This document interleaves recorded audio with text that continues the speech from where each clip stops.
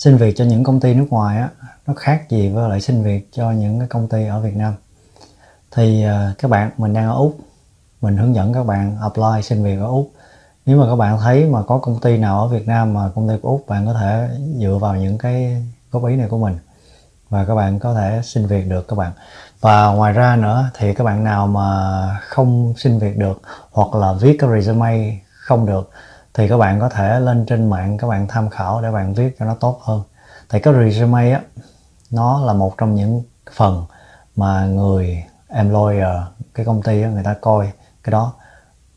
Người ta đâu có thấy mặt bạn đâu. Ở Việt Nam ở ở Việt Nam mình hay gọi là cái CV á.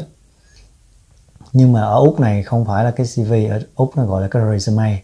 Nhưng mà ở úc này có một cái khác nữa không phải cái resume không mà bạn phải viết cho nó cái cover letter cover letter có nghĩa là bạn buộc phải viết một cái lá thư gửi cho họ, hỏi họ mình mình là ai, nói cho họ biết mình là ai, rồi mình muốn cái gì trong cái lá thư đó và tại sao cái công ty đó nó lại phải nhận bạn. Đó, cái này nó hơi khó hơn ở bên Việt Nam một tí. Đó các bạn, thì cái xin việc ở bên này bạn không cần phải nộp hình và cũng ghi trong đó bạn cũng không cần phải ghi số chứng minh nhân dân rồi này nọ nó không cần các bạn. Cũng không cần phải biết tuổi luôn không có ngày tháng năm sinh gì hết các bạn. Chỉ có nộp việc thôi. Mấy cái đó người ta gọi bên này gọi là nếu mà bạn để mấy thông tin nó vô gọi là uh, phân biệt chủng tộc phân biệt giới tính rồi phân biệt đủ thứ á. nên nó không có cho để mấy cái đó vô trong uh, vô trong cái uh, cái đơn đơn xin việc. Nếu bạn để mấy cái đó vô nó cho bạn rớt ngay, ngay từ vòng gửi xe luôn nha các bạn tuyệt đối. Các bạn mà mới qua úc á, các bạn apply mà các bạn ở việt nam bạn làm quen rồi đó qua úc mà bạn làm vậy là bạn rớt á, không có đậu đâu nha.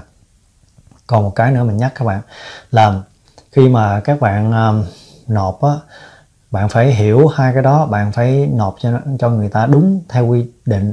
Ví dụ như người ta yêu cầu á người ta yêu cầu bạn làm á, bạn phải là thường trú nhân hay là có quốc tịch, hay là bạn, nó không cần bạn, chỉ cần bạn có điều kiện điều kiện là visa của bạn, có khả năng làm việc ở úc thì nó cho, thì bạn phải ghi rõ cho nó luôn. Chứ bạn không thể nên là giấu giếm cái vấn đề này, làm được hay không được là phải nói cho người ta biết từ đầu. Rồi thứ hai là có tới mấy mấy vòng lần nha các bạn. Cái này là mới cái vòng gửi xe nha vòng một thôi đó, là các bạn phải viết resume cho nó tốt để bạn gửi cho người ta người ta trước nha các bạn. Thì khi mà bạn gửi như vậy bên này thường thường là nó sẽ gửi email không mà các bạn? Nó không có gửi bằng những cái à, cái gì khác ngoài email hết. Nên các bạn không có cách nào mà trực tiếp là gọi điện thoại cho người ta. Khi người ta nói trong đó là không được gọi điện thoại thì bạn không được gọi điện thoại khi người ta nói gọi điện thoại thì bạn được gọi đội điện thoại. Khi người ta cho số điện thoại đó nhưng mà bạn không được gọi nhưng các bạn không có nóng lòng. Khi mà người ta ở bên này người ta ghi rõ những cái đơn xin việc nào mà người đồng ý thì người ta sẽ liên lạc lại với bạn. Còn nếu người ta không chấp nhận thì coi như bạn mấy ngày bạn không nghe người ta trả lời là bạn biết là bạn không đậu rồi bạn tạch rồi đó thì nghĩa là bạn làm cái đơn khác. Mà kinh nghiệm cho mình biết á, là có rất là nhiều người mà người ta apply, chỉ có apply một job thôi các bạn vậy là sai. Bạn cố gắng apply chục job. Một chục job như vậy các bạn các bạn phải apply nhiều như vậy. Lý do tại sao? Cái này được hay là không được thì bạn còn có thời gian bạn ngồi bạn đợi, đúng không? Bạn apply 10 job, ví dụ hôm nay bạn apply 10 job, rồi bạn ngồi đó bạn đợi một hai ngày coi có công ty nào nhận bạn hay không. Ngày xưa mình apply mình apply 10 job thì khoảng 7 job gọi mình. 7 job gọi mình mình gọi mình nói chuyện một hồi, cái hồi thì bảy chốt nó kia mình đi phỏng vấn hết các bạn. Mình đi phỏng vấn xong là mình chọn. Thì đa số là bảy người đó người ta chọn mình hết. Nhưng mình coi cái công ty nào nó có tương lai công ty nào mà có cái gọi là cái cái cái brand nó, nó tốt thì mình với với với chọn những công ty đó. Mình làm việc chứ mình không mình là được quyền chọn ngược lại. Nếu các bạn không có ai chọn hết bạn thì bạn có một công ty chọn thì các bạn cũng nên làm thử một thời gian. Đừng để cho mình rảnh nhiều quá đừng để cho mình dừng lại nhiều quá các bạn bạn phải đi làm đi làm một thời gian vài tháng bạn đổi việc cũng được. Nhưng mà bạn đi làm á nó chứng minh cho người ta thấy là bạn luôn luôn có công việc như vậy người ta mới thích. Chứ người ta không có thích bạn là ở không. Mình đó là mình chuyên gia đào tạo khởi nghiệp và kinh doanh nhưng mà mình cũng hướng dẫn cho các bạn để các bạn đi làm được. Lý do các bạn đi làm được á, là bạn đi làm rồi sau đó um, bạn đi làm thì tất nhiên là bạn có kinh nghiệm làm việc. Bạn càng làm bạn càng giỏi hơn bạn càng giỏi hơn có nghĩa là bạn là một chuyên gia trong cái lĩnh vực bạn đang làm. Bạn làm marketing, bạn làm kế toán, bạn làm bác sĩ, bạn làm y sĩ, bạn làm, nói chung bạn làm gì cũng được, nhưng mà bạn cố gắng bạn làm giỏi trong cái vấn đề bạn đang làm thì bạn sẽ trở thành chuyên gia. Mình không có phân biệt người giỏi, người dở. Mình chỉ cần dù bạn không có bằng cấp đại học nhưng bạn làm tốt, bạn trở thành chuyên gia trong lĩnh vực đó, càng giỏi hơn. Bạn là người giỏi hơn những người có bằng cấp học ra mà đại học, đúng không các bạn? Bằng cấp thực sự bây giờ nó không quan trọng các bạn. Quan trọng là cái khả năng và cái năng lực của bạn có cái năng lực tự học á. Rồi bây giờ mình vô chi tiết về cái phần resume. Cái phần resume cái quan trọng là nó nằm ở khúc mà mà khúc khúc cuối á, nó có cái đó nó gọi là reference. Reference đó là cái đó nó là cái phần mà bạn phải viết cho nó hai cái tên của cái người. Hai cái tên tốt nhất là hai cái tên của người mà công ty giám đốc của công ty bạn mới vừa nghỉ việc hoặc bạn đang làm việc, hoặc là bạn, hai cái người cuối cùng. Ví dụ như bạn làm cho năm công ty thì hai công ty cuối, hoặc là hai trong năm người, ai cũng được các bạn. Và khi mà nó cần reference nữa thì bạn phải đưa cho nó thêm một số cái reference nào nó nói. Thì bạn nói nó là bạn đã tốt nghiệp đại học, tốt nghiệp thạc sĩ hay là mà tốt nghiệp cao đẳng gì đó, thì hãy cho nó biết hồi xưa bạn học, có ông thầy nào bà cô nào quen với bạn, thân với bạn á, thì bạn nói người đó. Trước khi trước khi bạn nộp cái resume đó, bạn phải gọi bạn alo hoặc là bạn email cho mấy ông thầy đó nói, alo thầy ơi, alo cô ơi, bây giờ em nộp mấy cái job như vậy nè, thầy cô đứng ra làm reference cho em. Hoặc là cái công ty cũ hoặc boss cũ của bạn á, khi mà bạn làm, bạn cũng phải alo cho họ một tiếng hoặc là email cho họ để cho họ biết, họ nhớ là ok, họ sẽ chuẩn bị làm reference cho bạn. Đang làm với người mà để cho người ta check cái cái cái thông tin đó các bạn. Ví dụ như công ty mới của bạn, người ta nhận bạn rồi, thấy bạn tốt rồi, thì người ta sẽ hỏi, ok, anh Michael làm ở công ty cũ như thế nào, làm có tốt hay không? Người ta sẽ hỏi những câu hỏi như thế này là mình chia sẻ các bạn luôn. Thứ nhất là họ hỏi, đi làm việc có đúng giờ hay không? Đi làm có đầy đủ hay không? Và làm việc có tốt hay không? Rồi cái công việc của mình ở đó là cái gì? Và mình có hoàn thành công việc hay không? Có hay vắng mặt hay không? Cái performance có tốt hay không KPI các bạn. Key in key uh, performance index uh, indicator. Nó coi coi các bạn năng lực làm việc của bạn có tốt hay không. Rồi uh, có khả năng lãnh đạo hay không có khả năng mà coi như hòa đồng với làm việc nhóm hay không có khả năng làm team leader hay không. Khi mà bạn mấy cái vị trí bạn apply mấy cái vị trí như là um, trưởng nhóm hay là supervisor hoặc là manager thì người ta hỏi như thêm những cái đó. Đó các bạn tất cả những kỹ năng đó người ta sẽ hỏi những cái người công ty cũ của bạn á, coi bạn đúng là thật sự làm như vậy không? Để các bạn có khả năng làm cho công ty mới không các bạn? Người ta tất nhiên là người ta tin bạn ở nước úc này người ta rất là tin người nhưng mà người ta cũng phải có người người ta kiểm tra lại cho nó chắc chắn các bạn. Không những một mà là hai người thậm chí người ta có công ty người ta hỏi bằng ba người luôn. Rồi chưa đâu nha bạn cái cái nộp resume đó là mới có vòng hồi nãy giờ mình nói là mới có vòng giữ xe thôi, mới là cái vòng đầu tiên thôi. Nhưng mà mình chưa nói hết rồi cái phần đó rất là nhiều các bạn. Nó bao gồm rất là nhiều việc ở trong cái resume đó. Phần thứ nhất là thông tin cá nhân của bạn, tên tuổi của bạn nè. Nếu bạn có tên tiếng Anh nữa thì mở ngoặc ra tên tiếng Anh. Rồi bạn, tốt nhất là bạn ghi ở trong đó là có luôn phương tiện, xe, cộ gì đó. Hay là bạn có bằng lái gì đó thì bạn ghi rõ ràng trong đó luôn. Bạn có khả năng gì đó, bạn ghi đó rồi địa chỉ của bạn ở rồi uh, số điện thoại email rồi hết. Bao nhiêu đó xong. Phần đó là phần đầu. Phần thứ hai là phần education của bạn. Là bạn học tốt nghiệp cấp 3 cao đẳng đại học gì đó bạn ghi hết ra. Rồi tiếp tục phần thứ tiếp theo nữa là tất cả về quá trình làm việc của bạn. Làm việc bao nhiêu? Ví dụ bạn làm 10 công ty đi chưa chắc là bạn đừng có ghi hết vô trong đó 10 công ty người ta không có đọc đó các bạn. Rồi tiếp theo nữa là cái phần hobby các bạn là bạn thích làm gì? Chơi thể thao nghe nhạc đánh đàn hay là hát cải lương gì đó bạn ghi vô trong đó. Và còn một phần nữa, một phần nữa là, cái phần là gọi là nó có liên quan tới cái công việc đó các bạn. Thì bạn viết công việc, bạn làm, nhưng mà bạn phải viết rõ ràng nha.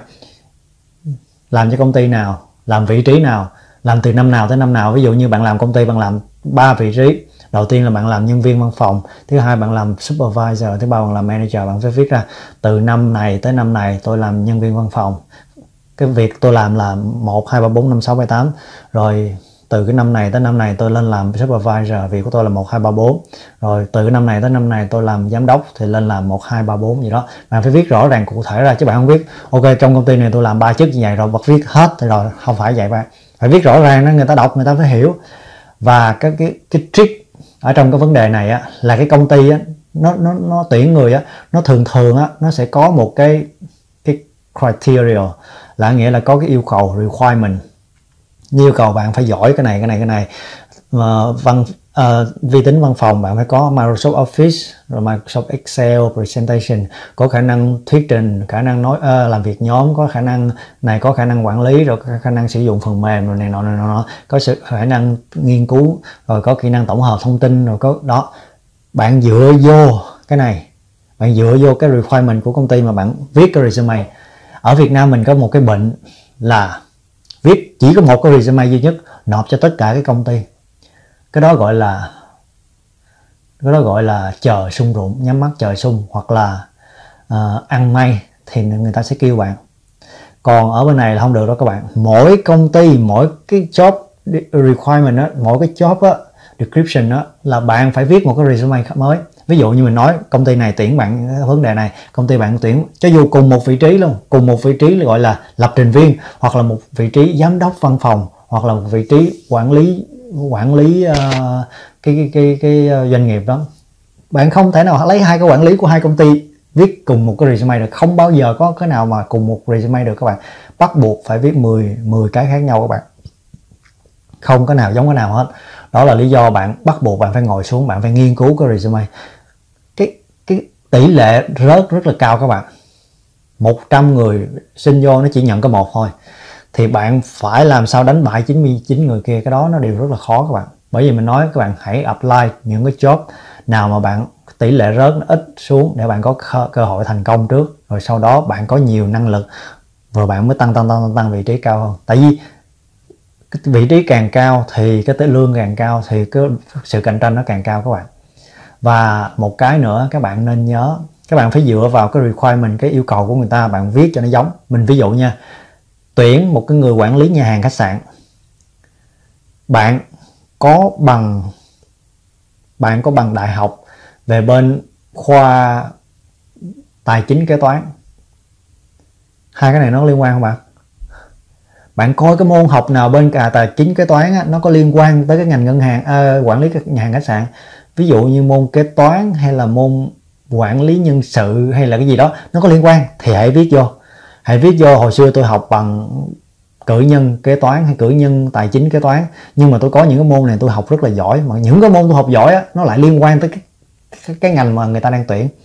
Thì hãy viết vô chứ đừng có viết tôi rất là giỏi toán giỏi toán nó có liên quan gì tới cái này đâu tôi rất là giỏi về à, tài chính. Tài chính nó có liên quan gì tới quản lý khách sạn không? Các bạn viết vô cũng như không. Đó là một. Rồi cái thứ hai nữa, ngày xưa bạn làm 10 job đi 10 việc, mỗi việc bạn làm khoảng 2 năm, một job, cứ thay đổi việc 2 năm 2 năm. Nhưng mà 10 job đó, bạn coi cái job nào trong 10 job đó nó có liên quan tới quản lý nhà hàng, khách sạn thì bạn hãy viết vô. Những cái job nào không liên quan thì đừng có viết. Các bạn hiểu ý mình không? Người ta không muốn đọc cái resume từ đầu tới cuối mà bạn viết lan man. Hãy bây giờ bạn nước tuyển quản lý nhà hàng khách sạn bạn nộp vô bạn nói bạn đã từng làm thợ hồ bạn đã từng làm thợ hàng bạn đã từng làm uh, lập trình viên bạn đã từng làm uh, quản lý đội bóng bạn đã từng làm uh, nhiếp ảnh. Nó có liên quan tới cái này không? Nó có liên quan đâu? Bạn phải coi coi quá khứ bạn làm cái gì nó liên quan. Cho dù bạn làm một cái ngành nghề gì nó khác nhưng mà nó có một số ý có liên quan.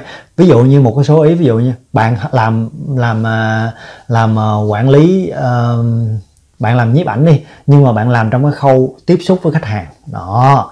Tiếp xúc với khách hàng gọi là bộ phận phục vụ khách hàng là hoặc là bộ phận reception bộ phận tiếp tân bộ phận nghe điện thoại trực điện thoại đó cái đó nó liên quan đó nó liên quan là lúc đó bạn sẽ giao dịch với khách hàng, bạn nói chuyện với khách hàng thì nó sẽ liên quan đến cái vấn đề là quản lý nhà hàng khách sạn. Lúc đó nó lại liên liên quan liên quan tới nói chuyện với khách hàng. Làm sao để thuyết phục được khách hàng? Làm sao để tiếp, đó. Nó yêu cầu sao nó nó lại dính với nhau vậy mới các bạn? Cái resume nó hay lắm chứ nó không phải đơn giản là ôi bạn viết từ A tới Z ra đưa cho nó rồi xong rồi nó không liên quan. Rồi tới tới phần tiếp theo nữa tới cái phần mà gọi là hobby tới cái phần mà th- uh, cái cái cái cái cái mà những cái thú vui của bạn á nhà hàng khách sạn thì bạn nói là bạn có cái thú vui gì? Thú vui gì để cho nó liên quan tới cái này? Thú vui đi du lịch thì nó có liên quan tới cái này. Nữa các bạn hoặc là thú vui đọc sách hoặc là thú vui xem phim gì đó nó có liên quan tới cái này hoặc thú vui tới chơi thể thao gì đó nó có liên quan. Chứ bạn có thú vui chơi điện tử nó có liên quan tới này không? Và đừng có bao giờ mà thật lòng hết trong tất cả những cái resume đó nha các bạn. Các bạn có thú vui chơi điện tử bạn viết vô đó thú vui chơi điện tử người ta hỏi một ngày mình chơi điện tử bao nhiêu tiếng vô quốc 5 tiếng 7, 7 tiếng. Hoặc là chơi từ sáng tới tối luôn ghi vô trong đó luôn. Thì có chuyện gì xảy ra làm sao người ta tuyển bạn được các bạn? Đó thôi mình kết thúc video ở đây. Thì video cũng khá dài rồi. Mình sẽ chia sẻ với các bạn những cái ờ, bài chia sẻ tiếp theo sau khi uh, đi phỏng vấn như thế nào các bạn. Nó nhiều quá trình lắm.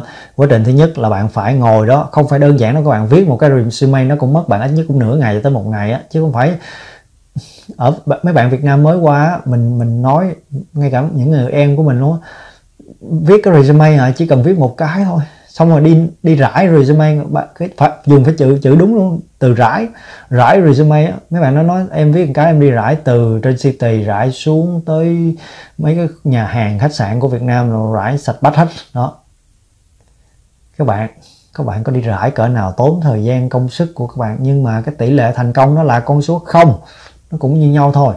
Người ta tuyển bạn, chẳng may là người ta thiếu người quá, thiếu người người ta mới chuyển bạn chứ những cái bạn đó mà đi mà vô nhà hàng mà đưa resume á, nó chất một đống vậy nè. Hoặc thậm chí nó tới nhà hàng á, hoặc là tới khách sạn gì đó, nó nói ok cho, thôi cái đó mình nói video khác đi cho các bạn. Mình nói cho các bạn nhiều quá, sợ các bạn nhưng dạ, sợ các bạn ngán.